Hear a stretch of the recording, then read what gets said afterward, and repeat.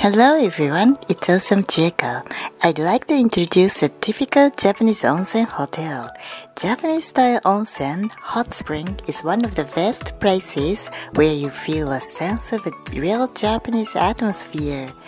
I will introduce an onsen hotel that I recently visited.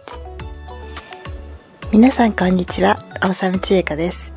今回は日本の典型的な温泉旅館を お見せしたいと思います。日本の雰囲気にとっぷり使ってくださいね。This relaxing hot spring spot is called Iyama Onsen in Kanagawa Prefecture. This Japanese style hotel, ryokan, is famous because an old tale of Japanese raccoon dogs is located in this hotel. So you can see many statues of raccoon dogs. ここは神奈川県の飯山温泉にある旅館です。この旅館は日本のタヌキの昔話で有名な旅館なのでいろいろな場所にタヌキの置物が見ることができます。Here you can enjoy the Japanese style garden, building and rooms. There is a large entrance gate and you can see some sake barrels and a souvenir shop is here. この旅館では日本風の庭や建物、部屋など様々なものが楽しむことができます。A young lady is wearing a yukata, Japanese casual kimono with a haori jacket. You can enjoy walking in the public space both inside and outside of the buildings.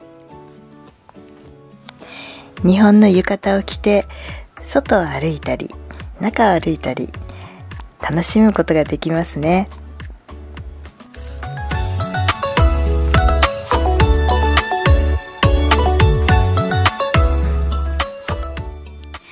Let's take your shoes off and go inside the room. You can see futon, Japanese mattress on tatami, the straw mat, and Japanese kotatsu, which is a table covered with futon and a heat source underneath of it. さあ、靴を脱いで部屋に入って、布団や畳、そしてこたつを楽しんでみましょう。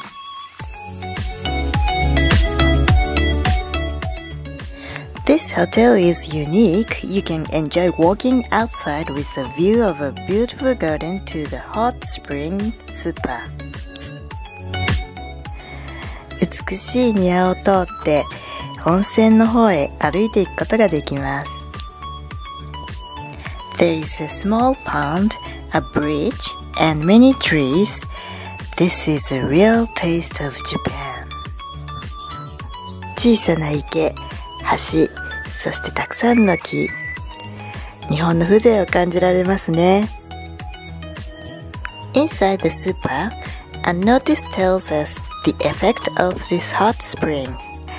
There is a changing room where you take your clothes off and also you can weigh yourself. 温泉の脱衣所ではその温泉の効能などが書かれています。体重も測れますよ。There are several hot spring baths inside and outside of the building. You can get in and relax. Don't put your towel into the bath.